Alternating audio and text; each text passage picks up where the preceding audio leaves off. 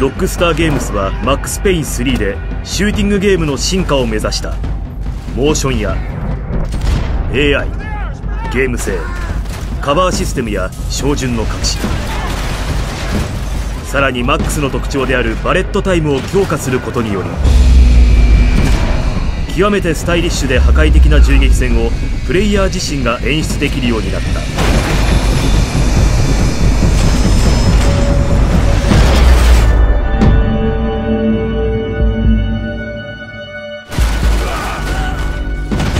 バレットタイムはマックスペイン3のゲームプレイの中心にある。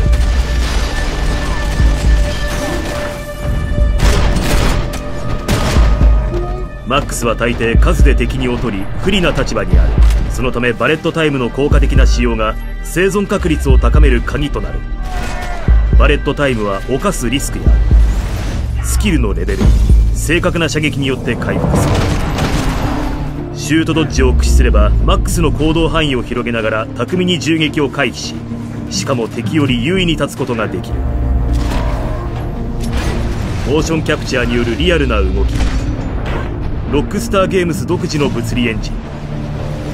そしてナチュラルモーション社のユーフォリアエンジンによるキャラクターの滑らかな挙動が融合。その結果ほぼ完全なプレイヤーコントロールと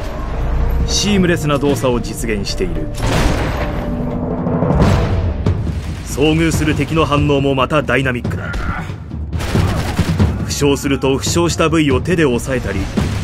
味方が制圧射撃する間カバーを探し援護を求める。ファイナルキルカメラはあらゆる銃撃における最後の一撃をハイライトする。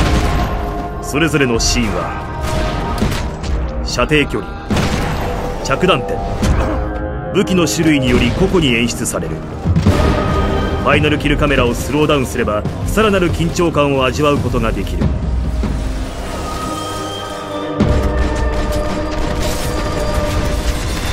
どのステージでも激しく極めてシネマティックな瞬間が訪れる。バレットタイムが自動的に発動し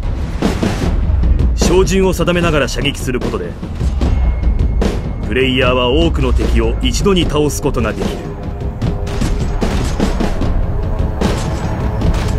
モーションやゲームシステムの発展と主軸となるバレットタイムのシステムによってマックス・ペイン3はサードパーソンシューティングに次世代の表現とプレイ体験をもたらしている。